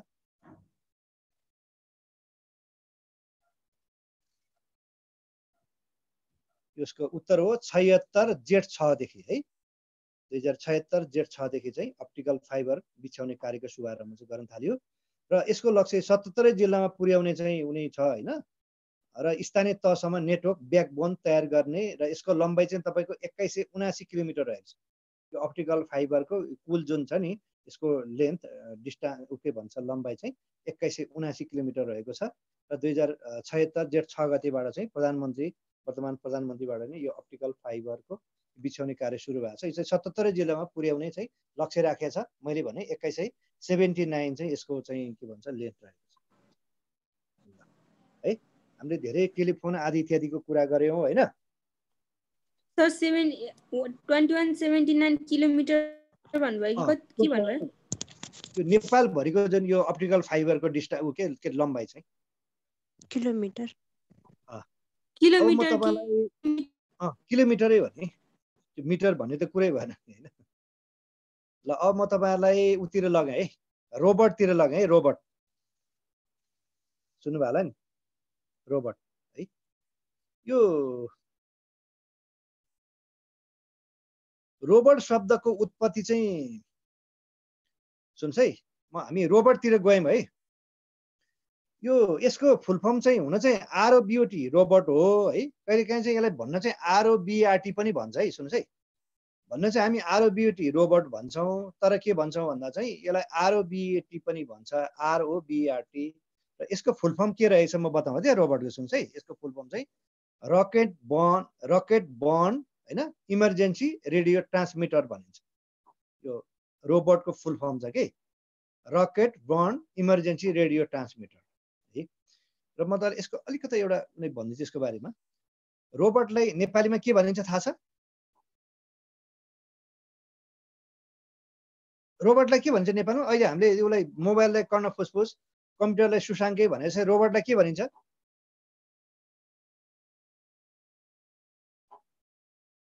यन्त्र मानव यस एक्ज्याक्टली यन्त्र मानव है अनि यो यन्त्र मानव अथवा रोबोट शब्दको उत्पत्ति चाहिँ सुन्छ है तत्कालीन चेकोस्लाभिया। अहिले त चेकोस्लाभिया भन्ने देशै छैन तिन चार देश भइसक्यो फुटेर चेकोस्लाभियाका लेखक सुन्छ है कारले का कारेल कापेकद्वारा लिखित नाटक रुडबाट चाहिँ आरयुए रुडबाट चाहिँ यो रोबोट शब्दको चाहिँ उ भएको होइन निर्माण भएको। अब भन्नुहोस् यो रुरको फुल फर्म चाहिँ के होला? मैले भने नि रोबोट अथवा यन्त्र मानवको चाहिँ उत्पत्ति चाहिँ तत्कालीन चेकोस्लाभियाको को राइटर लेखक कारेल कापेकद्वारा लिखित एउटा नाटक आरयुआर रुर नामक नाटकबाट चाहिँ यो बनाएको रोबोट शब्दको नामकरण चाहिँ होइन। यो यसको पूर्ण अर्थ चाहिँ के होला? ल सुन्नुहोस् यसको अर्थ हो Rossum's universal robots Rossum's universal robots है। रुर भन्ने नाटकबाट चाहिँ रोबोट शब्दको उत्पत्ति भयो। यो यसको चाहिँ रुरको फुल फर्म चाहिँ रोस जम्स युनिभर्सल रोबोट्स यो विश्वमा पहिलो पटक रोबोट शब्दको उत्पत्ति है विश्वमा पहिलो पटक रोबोट शब्दको उत्पत्ति चाहिँ कारेल कापेकद्वारा चाहिँ कहिले गरिएको थियो होला? विश्वमा फर्स्ट टाइम। उन्नाइस सय बिस। उन्नाइस सय एक्काइस बिस चाहिँ होइन एक्काइस नजिक नजिक पुग्नुभयो। भनेको रोबोट शब्दको उत्पत्ति चाहिँ सबैभन्दा पहिला विश्वमा चाहिँ कारेल कापेकद्वारा चाहिँ नाइन्टी ट्वेन्टी वानमा चाहिँ उनले चाहिँ गरेका थिए है। सर त्यो नाम चाहिँ के भन्नुभयो? आरयुआर भन्नुभयो कि के? आरयु त्यो रु रुर आरयु आर रुरबाट बनेको रुर भन्ने नाटकबाट चाहिँ रोबोट शब्दको उत्पत्ति भएको। है हामीले भनिन्छ नि रोसजम युनिभर्सल रोबोट्सबाट बनेको भनेको थियो नाइन्टिन ट्वेन्टी वानबाट उन्नाइस सय एक्काइसबाट चाहिँ कारेल कापेक भनेको यो लेखकको नाम है नाटककार हो कि राइटरको नाम हो। यो नाइन्टिन ट्वेन्टी नाइनबाट चाहिँ यसले चाहिँ सुरुवात गर्यो। अब सुन्नुहोस् है त। विश्वको पहिलो ह्युमनोइड रोबोटको नाम के होला? जुन रोबोट उन्नाइस सय अठाइसमा बेलायतमा बनाइएको थियो। विश्वको पहिलो ह्युमनोइड रोबोटको नाम के होला? जुन चाहिँ नाइन्टिन ट्वेन्टी एटमा बेलायतमा बनाएको थियो।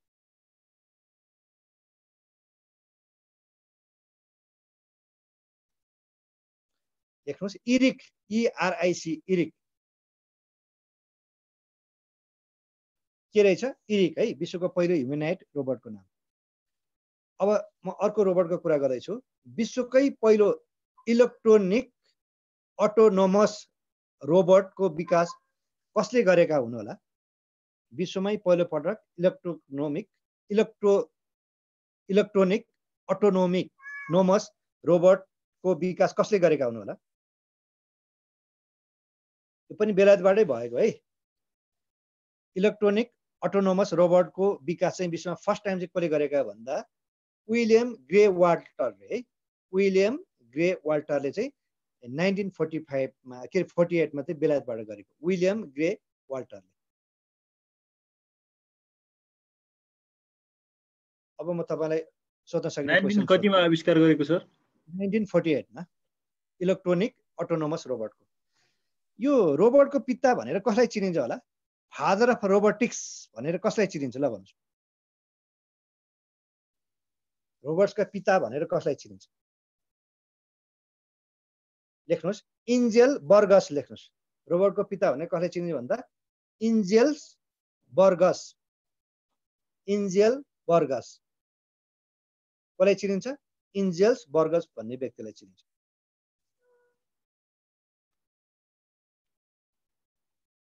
ल अब हामीलाई सोध्न सक्ने क्वेसन बारेमा उनी गरौँ है। यो त कुरा भयो यसको पृष्ठभूमि। विश्वको पहिलो नागरिकता प्राप्त रोबोटको नाम के होला? विश्वको कुन चाहिँ रोबोटले फर्स्ट टाइम चाहिँ उसले चाहिँ सिटिजनसिप अथवा नागरिकता प्राप्त गर्यो होला? सोफिया। सोफिया। अनि त्यो सोफियालाई कुन देशले नागरिकता दिएको थियो? Saudi Arab. सोफिया नामक रोबोटले साउदी अरबबाट विश्वमै पहिलोपटक नागरिकता प्राप्त गरेका थियो। भनेपछि त्यो साउदी अरबले होइन त्यो उसलाई सोफियालाई कहिले नागरिकता प्रदान गरेको थियो होला? ल मिति भन्नुहोस्। 2017 मार्च 25 आई थिंक सो। भन्न त भन्नुभयो अलिक ठ्याक्कै भयो विश्वमा नागरिकता प्राप्त पहिलो रोबोट। यो सोधिन सक्छ सोफिया है? अनि कुन देशले नागरिकता दियो भन्दा चाहिँ साउदी अरबले। दुई हजार अठार अक्टोबर ट्वेन्टी फाइभ। दुई हजार अठार अक्टोबर ट्वेन्टी फाइभ। है? यो सोफियाको बारेमा सोध्न सक्छ। तपाईँलाई थाहा होला त्यो सोफिया त हामी कहाँ हाम्रो देशमा पनि आएको थियो। ल भन्नुहोस्। त्यो विश्वको पहिलो नागरिकता प्राप्त रो रोबोट कन्या भनौँ न सोफिया नेपालमा कहिले आएकी थिइन्? कन्या भनेपछि आएकी थिइन् भन्नु पऱ्यो नि होइन? हो यो चाहिँ हामीलाई सोध्न सक्छ है। विश्वको पहिलो नागरिकता प्राप्त रोबोटको नाम के हो भन्दा सोफिया सबैलाई आयो। उनी नेपाल भ्रमण गर्न पनि आएकी थिइन्। यतिसम्म कि त्यसले त अनमोल केसीको धरि नाम पनि भनेको थियो। थाहा होला यहाँहरूलाई। है ल भने त्यो सोफिया रोबोट नेपालमा पहिलोपल्ट कहिले आएको थियो? आएको थिइन् भनौँ two thousand eighteen March twenty one. यस दुई हजार अठार मार्च एक्काइस। यो अङ्ग्रेजी तारिक भयो। अनि नेपालीमा ठ्याक्कै भन्दा चाहिँ दुई हजार चौहत्तर चैत सात गते। सोध्न सक्ने क्वेसन है एकदम यसलाई मार्क गर्नु होला। सोफिया रोबोट नेपालमा पहिलोपल्ट कहिले आएको थियो भन्दा दुई हजार चौहत्तर चैत्र कति सात अथवा दुई हजार अठार मार्च एक्काइस।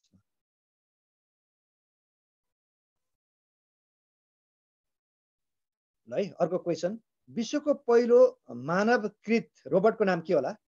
विश्वको पहिलो मानवकृत रोबोटको नाम के होला?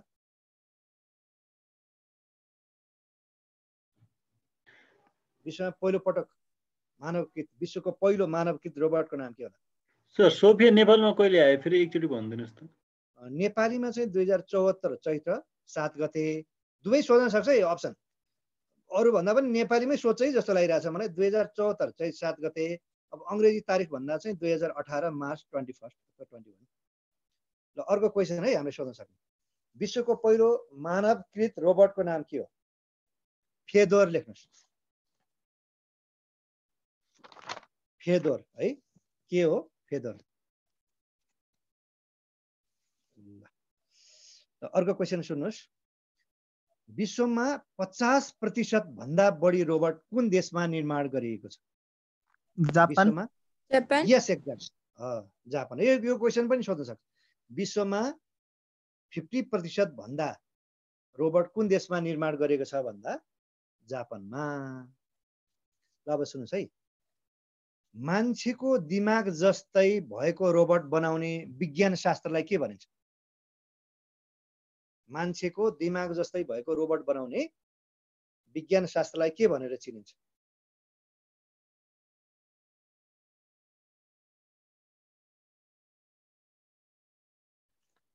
सुन्नु भएको छ यो? एआई हो सर। एआई एआई भनेको आर्टिफिसियल इन्टेलिजेन्स मान्छेको दिमाग जस्तै रोबोट बनाउने विज्ञान शास्त्रलाई के भनिन्छ भन्दा एआई एआई भनेको आर्टिफिसियल इन्टेलिजेन्स ल सुन्नुहोस् है त। यो नेपालमा पहिलो पटक सुन्नुहोस् है नेपालमा पहिलो पटक दुई हजार छयत्तर साल वैशाख अठाइस गते है एक रोबोटले कार्यक्रम नेपालीमा कार्यक्रम सञ्चालन गरेको थियो कि? यो चाहिँ कहाँ भन्दा टियुमा। अब भन्नुहोस् त्यो उक्त नेपाली भाषामा कार्यक्रम सञ्चालन गरेर रोबोटको नाम चाहिँ के राखिएको छ? राखिएको थियो। फुलमाया कि के थियो? सोध्न सक्छ यस्तै क्वेसन सोध्न सक्छ। नेपालमा पहिलो पटक हजार- अप्सन भन्न मिल्छ। म भनिदिउँ त भनिदिउँ अप्सन। ल भन्नु है त राममाया फुलमाया एनिमाया र पूर्णमाया। कुन होला? एनिमाया फुलमाया सर। हो आइन्सर चाहिँ हो फुलमाया। दुई हजार छयत्तर साल वैशाख अठाइस गते त्यो टियुमा चाहिँ यसले चाहिँ नेपाली भाषामै यो के भन्छ? कार्यक्रम सञ्चालन गरेको थियो। उक्त रोबोटको नाम के भन्दा चाहिँ फुलमाया है अब भन्नुहोस् यो महिला रोबोटलाई चाहिँ के भन्छ? Female रोबोटलाई what is call female robot sir कहिले भन्नुभयो? दुई हजार छयत्तर वैशाख अठाइस गते। यो महिला रोबोटलाई चाहिँ के भनिन्छ अङ्ग्रेजीमा? What is call female robot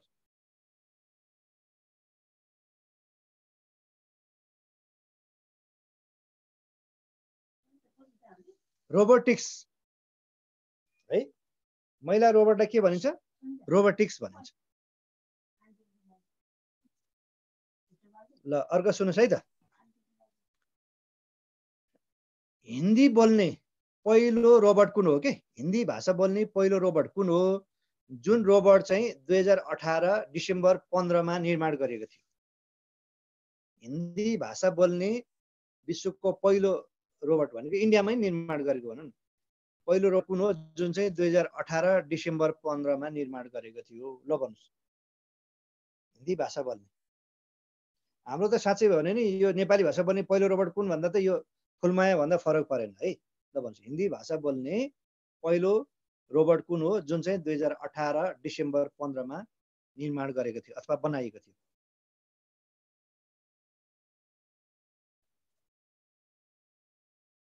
Rashmi. Hindi बोल्ने पहिलो रोबोट हिन्दी भाषा बोल्ने पहिलो रोबोटको नाम चाहिँ रश्मि है? सोध्ला नसोध्ला त्यो आफ्नो ठाउँमा छ? नसोध्ला भन्न सकिन्न। ल अब सुन्नुहोस् है? अहिले हामीले फुलमाया त फुलमाया भन्यो त्योभन्दा अगाडि नाम? रश्मि रश्मि के रश्मि? सूर्यको किरणलाई रश्मि भन्छ नि रश्मि। ल अब अर्को सुन्नुहोस् है त। नेपाली बोल्ने पहिलो रोबोट कुन हो? जसलाई बुटोलका जुम्लिया दाजुभाइ लवर कुशले निर्माण गरेका थिए। नेपाली बोल्ने पहिलो रोबोट। है हिन्दी बोल्ने त रश्मि भयो। नेपाली भाषा बोल्ने पहिलो रोबोट कुन हो? जुन चाहिँ तपाईँलाई बुटोलका दुई दाजुभाइ है यो लवर कुश भन्ने पन्थीले निर्माण गरेका थियो। ल भन्नुहोस् नेपाली भाषा बोल्ने पहिलो रोबोट कुन होला? सर हजुरले अघि फुलमाया भन्नुभयो होइन फुलमाया चाहिँ कार्यक्रम सञ्चालन गर्ने हो तर त्योभन्दा अगाडि नै उनी रहेछ कि। ल भनौँ न। जस क्वेसन त बुझ्नु होला नि एटलिस्ट लवकुश रोबर्ट। नेपाली भाषा बोल्ने पहिलो रोबर्ट चाहिँ लवकुश रोबर्ट है। दुई हजार छयत्तर सालभन्दा अगाडि नै त्यसले बोलिसकेको थियो कि। दुई हजार छयत्तर वैशाख अठाइस गतेमा चाहिँ फुलमायाले चाहिँ नेपाली भाषामै कार्यक्रम सञ्चालन गरेको तर नेपाली बोल्ने पहिलो रोबर्टको नाम चाहिँ हो लवकुश रोबर्ट हो है। यो चाहिँ जानकारी होस् सर कहाँको मान्छेले बनाएको बुटोलको हो। यो लवकुश। पन्थी जुम्ला ट्विन्स हो। यिनीहरू दुईजनाले दुई- दाजुभाइले बनाएको। ल सुन्नुहोस् है त। नासाद्वारा पहिलो पटक सुन्नुहोस् है? नासा भनेको थाहा होला नि त अमेरिकाको अन्तरिक्ष स्पेस सम्बन्धी अनुसन्धान गर्ने निकाय। नासाद्वारा पहिलो पटक दुई हजार अठार नोभेम्बर छब्बिसमा है? दुई हजार अठार नोभेम्बर छब्बिसमा मङ्गल ग्रहमा रोबोट सफलतापूर्वक अवतरण गरिएको थियो अवतरण गराइएको थियो है? नासाद्वारा होइन? कुन ग्रहमा? मङ्गल ग्रहमा फर्स्ट टाइम दुई हजार अठार नोभेम्बर छब्बिसमा सफलतापूर्वक रोबोट अवतरण गराइएको थियो। अब भन्नुहोस् त्यो रोबोटको नाम के राखिएको थियो? अथवा उक्त रोबोटको नाम के हो? नासाले दुई हजार अठार नोभेम्बर छब्बिसमा फर्स्ट टाइम चाहिँ मङ्गल ग्रहमा रोबोट चाहिँ सफलतापूर्वक अवतरण गरायो। उक्त रोबोटको नाम के राखिएको थियो? अथवा उक्त रोबोटको नाम के हो? सुन्नुभएको छ कसैले? इनसाइट ल्यान्डर मङ्गल ग्रहमा उतारेको फर्स्ट पहिलो रोबोटको नाम हो इनसाइट ल्यान्डर जुन चाहिँ दुई हजार अठार नोभेम्बर ट्वेन्टी सिक्समा नासाले चाहिँ के गरिरहेको थियो त्यहाँ अवतरण गराइएको थियो। है के रहेछ? इनसाइट ल्यान्डर अर्को क्वेसन सुन्नुहोस् हामीलाई सोध्न सक्ने मध्येमा। यो ब्याङ्किङ सर्भिस है ब्याङ्किङ सर्भिस रोबोट सुरुवात गर्ने नेपालको पहिलो ब्याङ्क कुन होला? कुमारी ब्याङ्क हो सर? एसबिआई। इन्टरनेट चाहिँ हो। यस एसबिआई एसबिआई सर। एसबिआई ब्याङ्कले चाहिँ यो रोबोटको यसले चाहिँ वेलकम भन्ने होइन अब ग्राहक उसकोहरूको आफ्नो क्लाइन्टहरूलाई स्वागत गर्ने भनेको यो ब्याङ्किङ से सर्भिसमा सेवामा रोबोटको सुरुवात गर्ने नेपालको पहिलो ब्याङ्क कुन हो भन्दा एसबिआई ब्याङ्क है कुमारी चाहिँ इन्टरनेट प्रयोग गर्ने चाहिँ नेपालको पहिलो ब्याङ्क चाहिँ कुमारी है फेरि। अब सुन्नुहोस् है त। यो हामीलाई सोध्न सक्ने क्वेसन मध्येमा त्रिभुवन अन्तर्राष्ट्रिय विमानस्थलमा है त्रिभुवन अन्तर्राष्ट्रिय विमानस्थलमा प्रविधि मार्फत यात्रुलाई सेवा दिने रोबोट सेवाको कार्यक्रम कहिलेबाट सुरुवात गरेको? सुन्नुहोस् है त्रिभुवन अन्तर्राष्ट्रिय विमानस्थलमा प्रविधि मार्फत अथवा टेक्नोलोजी टेक्नोलोजी मार्फत यात्रुलाई सेवा दिन रोबोट सेवाको सञ्चालन कहिलेबाट गरेको? हाम्रो एकमात्र अहिले इन्टरनेसनल विमानस्थल छ नि। त्रिभुवन विमानस्थलमा पनि प्रविधि मार्फत यात्रुलाई सेवा दिन रोबोट सेवाको चाहिँ सञ्चालन गरेको छ। कहिलेबाट सुरुवात गरेको भने यसको उत्तर लेख्नु छयत्तर फागुन आठ गते। कहिले रहेछ? छयत्तर फागुन आठ गते। ल अब लास्ट क्वेसन है रोबोटसम्म त्यसपछि हामी ड्रोनतिर जान्छौँ अन्तिमतिर। रोबोट अर्थात् यन्त्रमानव बनाउने नेपालको पहिलो ने के अरे पहिलो नेपाली को हुन् रोबोट बनाउने पहिलो नेपाली को हुन् होला? सुन्नु भएको छ कसैले रोबोट बनाउने पहिलो नेपाली को हुन् अब क्वेसन त सुन्नुभयो होला एन्सर सुन्नु भएन होला। एन्सर हो लोकेश्वर मास्के। लोकेश्वर मास्के। तपाईँलाई थाहा चाहिँ थाहा छ नि यो इन्जिनियर पुल्चोकको इन्जिनियरिङ कलेजबाट चाहिँ सुरुवात भएको र रोबोट बनाउने अथवा यन्त्र मानव बनाउने पहिलो नेपाली को भन्दा लोकेश्वर मास्के। को रहेछन्? लोकेश्वर मास्के। अब हामी आजको यो कोर्सको अन्तिम च्याप्टरमा पाँच दस मिनट पढ्छौँ है सात बजीसम्म भनौँ न। अब हामी चाहिँ लास्ट च्याप्टरमा गयौँ है। यो हाम्रो सामाजिक सञ्जाल भयो कम्प्युटर भयो होइन? युट्युब फेसबुक होइन? ट्विटर होइन? स्काइप यो कुराहरूको कुरा गऱ्यौँ नि। अनि त्यसपछि हामीले रोबोटको पनि कुरा गऱ्यौँ। अब तपाईँहरूको यो च्याप्टर अन्तर्गत हामी अन्तिम चाहिँ ड्रोनतिर गयौँ है डिआरओएन ड्रोन। ल भन्नु त ड्रोन भनेको के होला? अहिले त कतिपय तपाईँको म्युजिक भिडियोको सुटिङ पनि ड्रोनबाट हुन्छ कतिपय चाहिँ ड्रोनबाट फोटो खिच्चा आदि सुन्नुभयो होला होइन? ल भन्नुहोस्। यो ड्रोन भनेको के होला?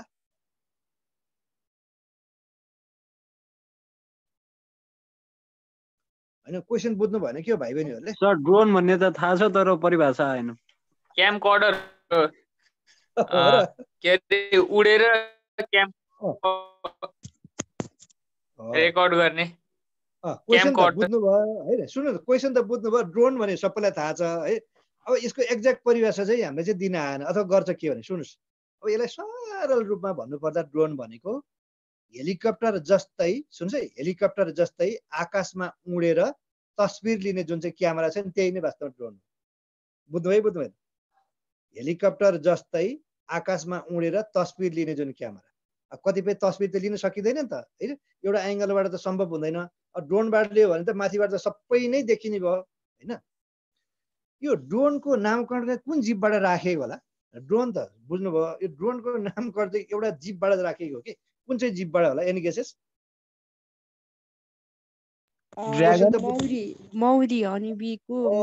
भाले मौरीको नाउँबाट राखेको। केबाट राखेको? भाले मौरीको नाउँबाट चाहिँ ड्रोन राखेको। मेल हनीबी अँ, है। ल अब म तपाईँलाई सोधौँ। ल ड्रोनको कुरा आयो। अहिले त कतिपय चाहिँ तपाईँको म्युजिक भिडियोमा सुटिङ गर्दा कुनै त्यस्तो तस्बिर लिनु पर्यो भने चाहिँ अहिले ड्रोनको माध्यमबाट तस्बिर लिन्छ है। ल भन्नु ल भन- ड्रोन चाहिँ कति प्रकारको हुन हुन्छन् ल भन्नु त? How many types of drone drone कति प्रकारको हुन्छ? ल भन्नुहोस् त। अब तपाईँले के के हुन्छ सोध्दैन कति प्रकारको हुन्छन् भनेर सोध्न सक्छ। ल भन्नुहोस्। ड्रोन कति प्रकारको हुन्छ? टु तपाईँहरूको विचारमा यिनीहरू ओपन ल भन्नुहोस्। It Four is types, त-. यस्तो गरौँ न ड्रोन कति प्रकारको हुन्छ? गेस त गर्न। सकिन्छ नि। छ? ल अरू भाइहरू भन्नु त। हिजो पुकार भाइले त भयङ्कर एन्सर भनिदिए भने गरिरहनुहुन्थ्यो। आज त उहाँको केही त्यस्तो पर्फर्मेन्स देखिएन। ल सुन्नुहोस्। ड्रोन चाहिँ चार प्रकारको हुन्छ। कति प्रकारको? चार प्रकारको हुन्छ। है? अब कुन कुन हुन् भनेर म नाम मात्रै भन्छु सुन्नुहोस् मात्रै नलेख्नुहोस् है? कति प्रकारको हुन्छन् भनेर ड्रोन चार प्रकार म बताउँछु है? यो क्याटेगोरी ए ए है? यो category A category B category C category B के अरे डी भनेको चार प्रकारको हुन्छ चार क्याटेगोराइज गरिएको छ। अब पहिलो क्याटेगोराइजमा के पर्छ भन्दा भेरी लो रिक्स अपरेसन भनेको यो दुई सय पचास ग्रामसम्म तौल भएको जुन रोप के भन्छ ड्रोनलाई चाहिँ के मानिन्छ भन्दा तपाईँको ए ग्रेडको रोम ए क्याटेगोरीको ड्रोन मानिन्छ। यो दुई सय पचास ग्रामसम्म होइन? यसै गरी तपाईँको बी क्याटेगोरीको ड्रोन भनेको चाहिँ यो लो रिक्स अपरेसनमा दुई सय पचास ग्रा दुई सय पचास ग्रामदेखि तपाईँको दुई केजीसम्म तौल भएको। होइन? यसलाई चाहिँ के भनिन्छ भन्दा चाहिँ यो बी क्याटेगोरीको ड्रोन भनिन्छ। होइन? तिन दुई सय पचासदेखि तिन सय पचास ग्राम है सरी।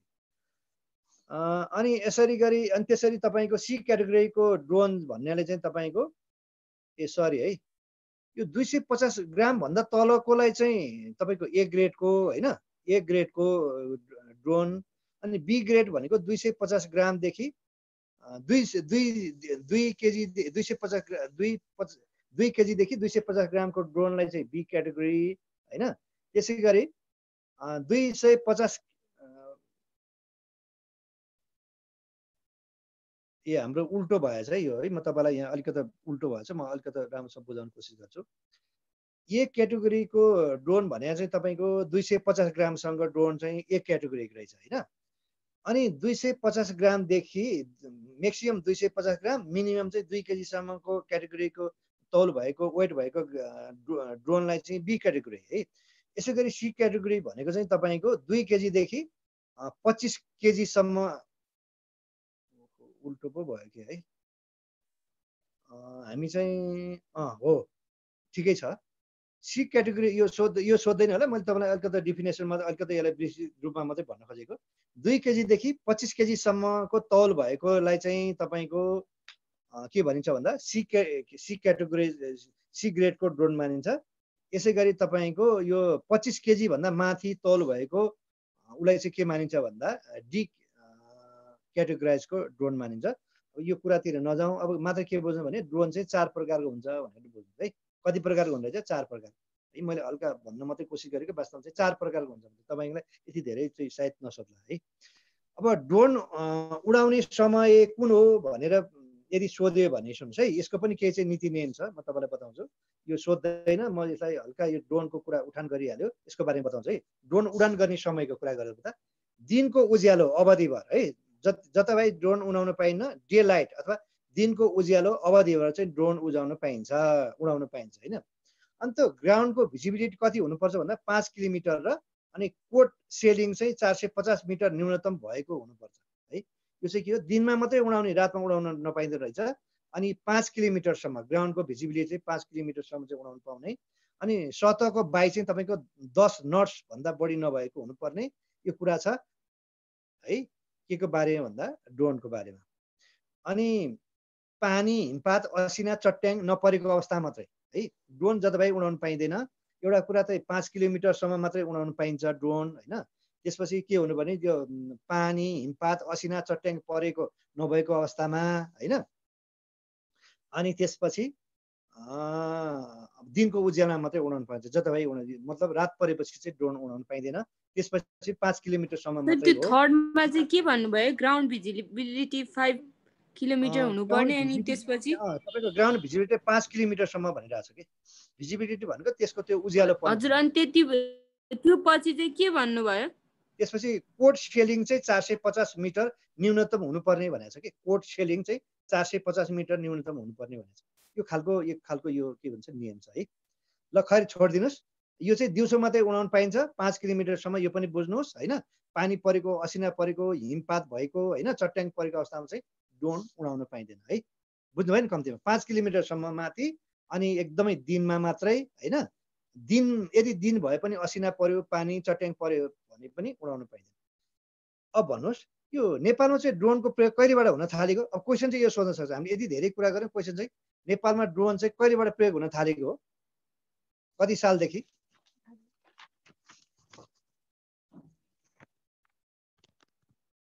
ल भन्नुहोस्।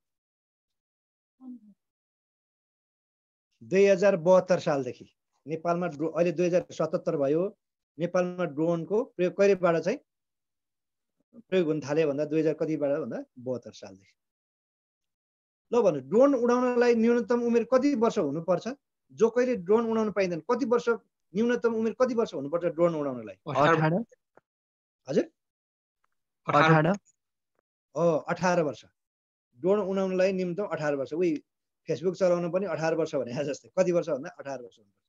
अब म तपाईँलाई सोधेँ यो ड्रोन उडाउनको लागि चाहिँ कहाँ दर्ता गर्नु पर्छ तेह्र वर्ष होइन र? ए फेसबुक चाहिँ तेह्र वर्ष हो। यो चाहिँ अठार वर्ष। ल यो विश्वभरि नै हो कि नेपालमा चाहिँ हो सर? नेपालमा चाहिँ अठार वर्ष हुनुपर्छ।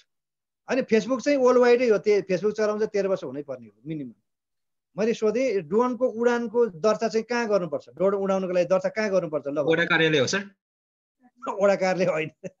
प्रहरी कार्यालय हो त्यो पनि होइन। कम्ती पनि ल भन्नुहोस्। ड्रोन उडाउन तपाईँसँग तपाईँलाई ड्रोन उडाउन मन लाग्यो तपाईँसँग ड्रोन छ मानिलिनुहोस् होइन? तपाईँले दर्ता चाहिँ कहाँ गर्नु पर्यो त? काठमाडौँ यो सुन्नु। नेपाल नागरिक उड्डयन प्राधिका के अरे प्राधिकरणमा। यो हवाईजहाज उडा जस्तै हो कि? नेपाल नागरिक उड्डयन प्राधिकरणमा चाहिँ दर्ता गर्नुपर्छ।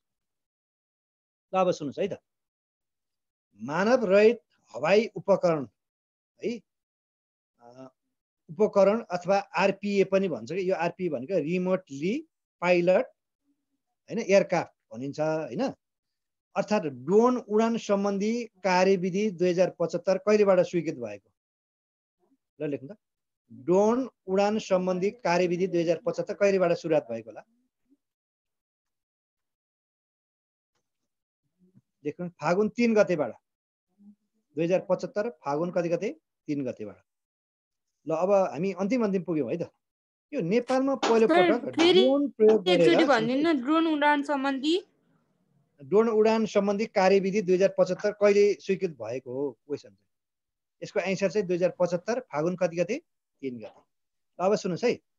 नेपालमा पहिलोपटक ड्रोन प्रयोग गरेर विषादी छर्कने प्रदेश कुन चाहिँ हो? ल भन्नुहोस्। नेपालमा पहिलोपटक ड्रोन प्रयोग गरेर विषादी छर्कने प्रदेश कुन होला? दुई नम्बर हो कि? होइन प्रदेश नम्बर पाँच। ल अब अन्तिम अन्तिम पुग्यौँ है सुन्नुहोस् है। अब सात बदन लायो। जङ्गली हात्ती भगाउनका लागि सुन्नुहोस् है। जङ्गली हात्ती भगाउनका लागि साइरन ड्रोन बनाउने झापाका युवा वैज्ञानिक को हुन्? झापाको यो बाहुनडाकीतिर भयङ्कर ऊ आउँछ के? हात्ती आउँछ होइन? बाली नाली खाइदिन्छ।